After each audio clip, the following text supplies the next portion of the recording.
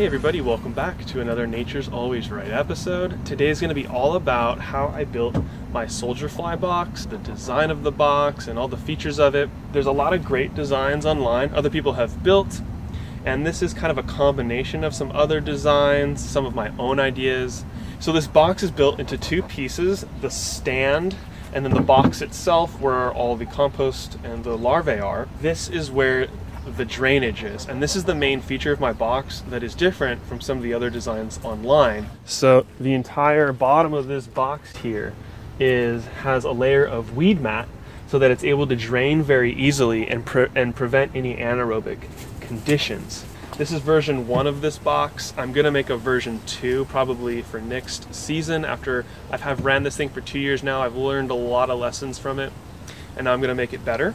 So just to quickly show you guys, so this is an extra incubation bin for them, uh, just filled with compost. The actual flies themselves will go down in here and lay their eggs, and you can see a lot of the leftover shells after the larvae have pupated. So that's what that is. This top bin here, this is of course where the soldier fly are and where they eat. It's now almost winter, so they're really slowed down. They're not really eating too much anymore, and the bin's gonna be shut down for winter.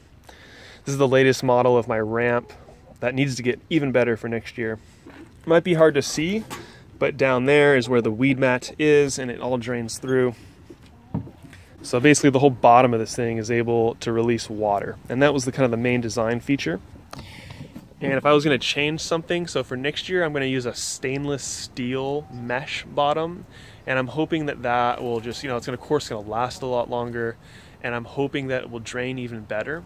Because the weed mat although it still drains decently now that you know a year's worth of material and frass has built up it is harder for the water to drain through because it's you know some of the materials clog those holes or the other option would be to clean this thing occasionally like shoot some water and, and then try to drain it through or try to shoot water at the bottom to unclog some of it so these are some of the little kinks that I'm working through. So I hope you guys enjoy seeing how I built this and how I thought about designing it. And I'll give you guys some different tips and, and things about the box and facts about the larvae as we go through the video. Um, today I'm going to be building the box that I'll be built on top of it. Everything that I'm using on this project is just old lumber or things that I've recycled or collected. Here's the plywood I'll be using for the actual box that will contain the compost and the soldier fly larva. And that box is just going to be placed directly on top of this table.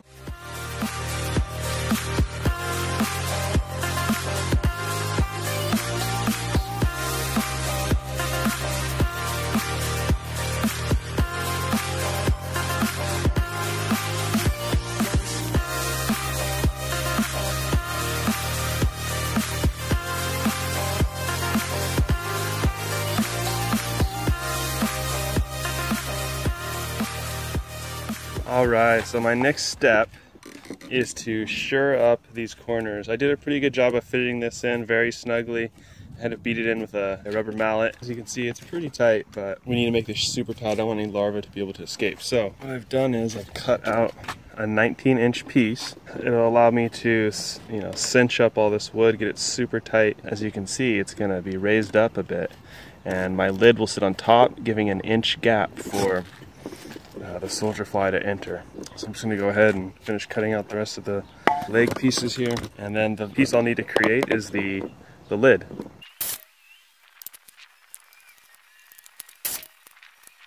So as you can see, there's just a little bit of a um, gap here. So I'm just going to bend the wood. I'll be drilling pilot holes to prevent any splitting of the wood. I'm going to mount it to this board first so that I can mount it forward and then drill it in from the side.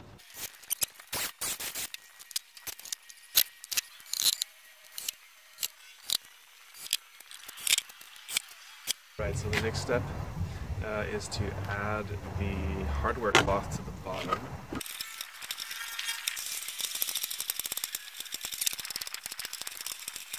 So I'm a little, little worried about the strength here in the middle over time once this metal starts to corrode a little bit. So I've got some of this extra hardware cloth anyways. So I think I might just do double layer here like this. So for drainage, I'm going to be using uh, weed mat. I got the cheapest kind, which actually has the largest uh, holes in them. And it says to put the glossy side facing up for the best drainage. So you know, usually this is used in landscaping. Finally just had a breakthrough. I've been pondering on how to create this for a long time, a couple weeks, and I finally figured out a good solution. This box is upside down. This is the bottom. I need to keep the soil from falling out. I also need to keep any uh, baby larvae from trying to escape or crawl out. Um, so how do I do that so that it's super tight, the moisture can drain easily, and it's supported. I also wanted it to be easily removable and replaceable if need be. You know, I thought about putting a layer of this weed mat, then a layer of this. I thought about putting the, the weed mat and the uh, hardware cloth just on the table itself. Um, all those different ideas had different pros and cons, none of which gave me easily removable, easily replaceable, and a super tight seal.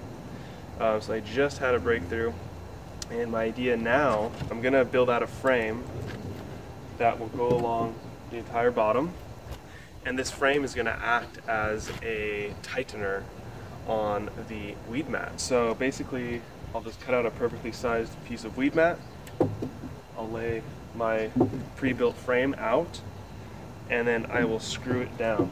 Screwing it down is going to create an, an incredibly tight seal. Also a part of this frame will be the hardware cloth. The hardware cloth will sit on top here and provide support for the weed mat so that when the soil is laying on top um, it doesn't rip or tear. So when I need to, let's say I need to replace the weed mat, my drainage uh, source, um, I would just unscrew my frame and this entire piece will just come off as one thing like this.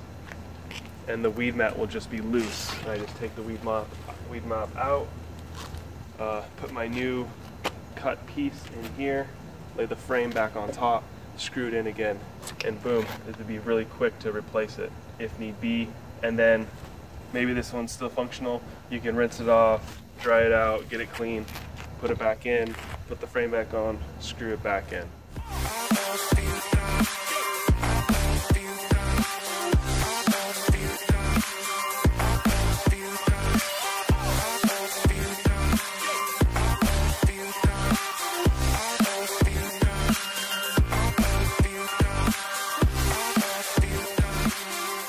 So here's what we have.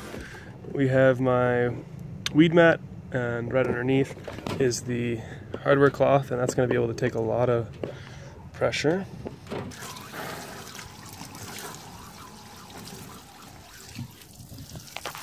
Oh wow, look if it's a ton of water, it just drains no problem. That's a good sign that this is going to have really nice drainage. So now I'm going to be attaching the supports uh, which are going to attach uh, to the hinges and then the box and the lid. For the supports I'm using a piece of 2x3 and 2 inch number 2 uh, screws. So what I'm going to do now is line up these support boards um, so that the hinge will rest right in the center here.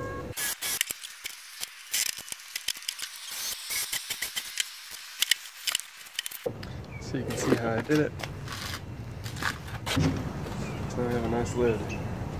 The first thing that I need to do is actually build the collection bucket where the soldier fly are going to dump into with the ramp. And the reason I need to set this up first is that, that the height that I make this is going to help me determine where I drill the hole in the box and all of that. So this is the key piece. So we're going to set this up first. Now this is a 3 quarter inch 45 degree angle PVC fitting. So this is just going to be like a nice big funnel that fits on this perfectly. Here's my homemade funnel. Okay, so now you're looking from inside the coop and I need to cut out a section of this metal, shove the pipe through, and then we'll cut it to length once the system's fully built. So there's our pipe at a really sharp angle. It's gonna drop them out real fast. And I'm gonna leave it really long because I'm still playing around with my ideas about how I'm gonna collect them or maybe just have them drop directly onto the ground here and then when the chickens wake up in the morning, they'll have a huge feast on the ground. Maybe they'll crawl out. I'm not really sure what's gonna happen. Maybe I wanna collect them and um, disperse the food how I want to. Maybe I want to freeze some for later. You can actually freeze these for long-term storage for the birds. Also, I could save the larvae to throw back into my inoculation box so that they can pupate, become flies, and then hopefully lay eggs again back into this box. And then we'll have a circulating natural population living here. Um, that as long as I keep feeding the box, they'll continue to produce the larvae, they'll continue to come out here, and then I'll occasionally collect them to throw them back in this box as an emergency backup. All right, so check it out. It turned out perfectly, actually. It fits in there really snug. And then just to reinforce it, I'm gonna put one of these on. This is just a three quarter inch um, bracket that you can buy for any PVC fittings. It's gonna strap on there. And I'm just doing this just in case so it's not, I know it's, I know it's not gonna move around at all. There's no way, way it can go anywhere. So now we just need to set up the ramps. All right guys, so now I'm gonna show you how I'm determining the length that I'm gonna cut my ramps and basing that on the angle that the ramp is going to be. At this angle, obviously I could go straight, I'll be slightly lower to be on top of this, but it's about at 30 degrees. So now I can actually see how short I can make this. I don't want to go beyond 45 degrees. Okay, so the ramps ended up being, says 29.3. And then this one, B8.5. So this is a nice test, right? We got something a little under 30, something a little over 45. And I'm gonna support it um, once again with some of these three quarter inch, or maybe I'll just put a screw in and then I'll just hold it there. Another option I've seen people do for ramps, they'll cut maybe like one or one and a half inch PVC in half, and then it's just like a semicircle, just nice ramp. Or you could use, there's a lot of different things you could use but I'm real hopeful that this is going to work. It'll just drop right into there and into the hole. And then out, straight to feed the chickens, or I can collect it in a bucket. In case you're wondering, this thing's called a digital angle finder, and I use this to set my solar panel angle, um, and then as you just saw, to find angles of other things. It's pretty cool because there's a magnetic strip on the bottom, so that's how I was able to just stick it to the metal you know, I think it's around 20 bucks or something. I'll put a link to the description in the bottom of the video.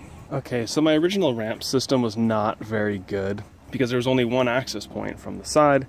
So now I've switched it so that as long as they come this direction, they're gonna hit this ramp and then be pushed into this corner.